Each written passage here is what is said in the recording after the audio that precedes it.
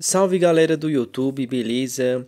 Nesse vídeo vou estar ensinando a vocês como descobrir a senha que o seu notebook está conectado. Ou seja, gente, você está com o seu notebook conectado no Wi-Fi e aí você não lembra a senha.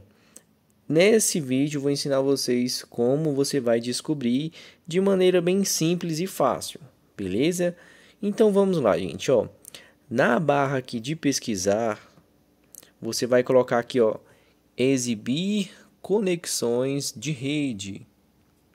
Olha aqui, ó, exibir conexões de rede. E aí, ó, você vai clicar nele. Vem aqui, ó, no Wi-Fi. Clica duas vezes.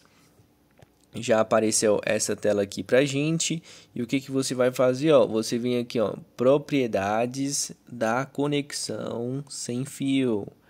E aí você clica novamente. Aqui eu estou conectado na Edge.